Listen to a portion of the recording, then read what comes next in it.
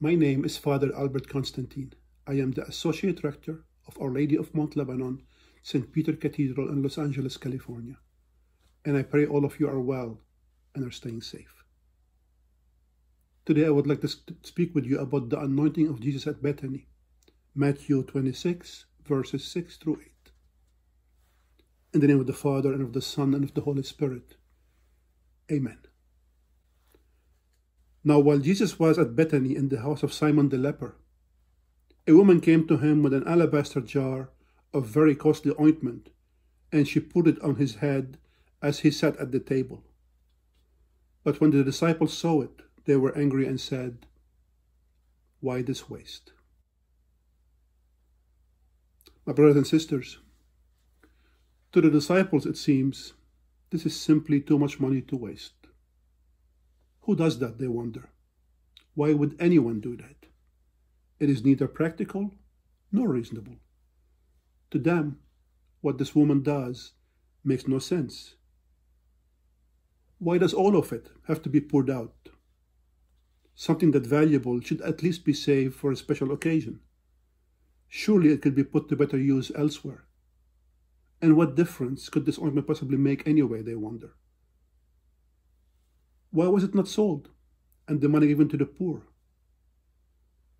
The disciples, it seems, have a limit, and this woman has just exceeded their limit. I wonder what would have been acceptable to them, what would have been reasonable. I don't know what their number is, and we will never know. But that is not the point of today's gospel. The more relevant question is about us about you and me. What is my number? What is your number? What is our limit? At what point do we, you and I, say it simply costs too much to love?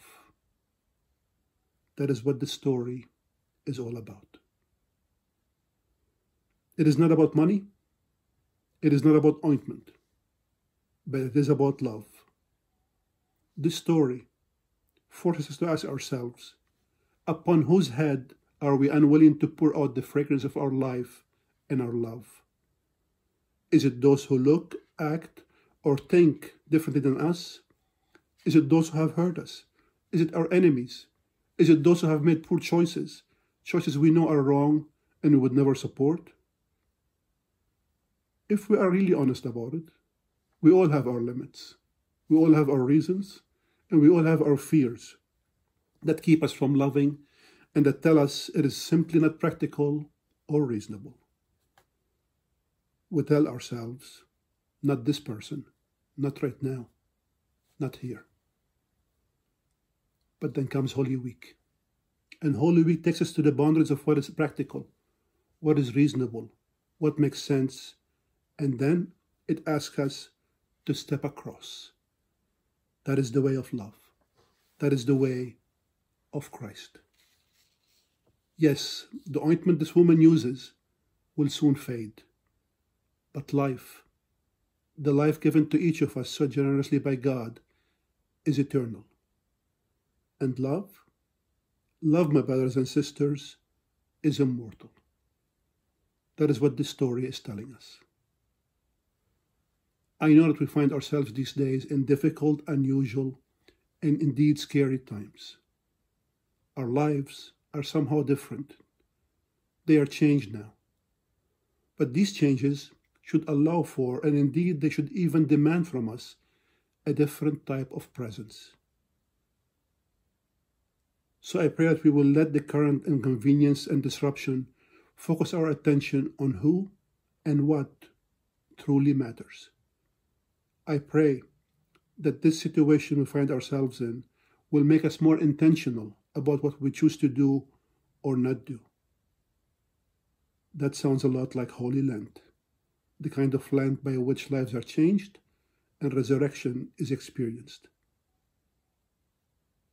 We ask God to give peace, courage, and hope to all who suffer in body, mind, and spirit.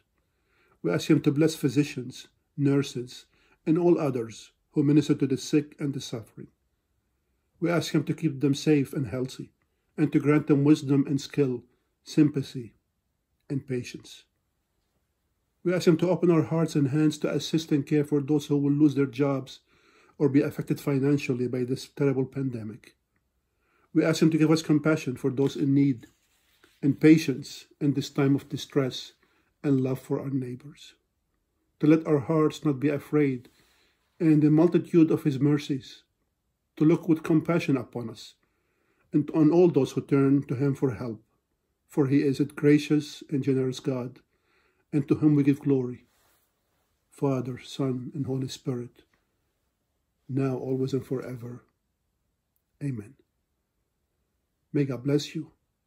May He protect you. And may you have a truly blessed Holy Week and a truly blessed Easter. God bless.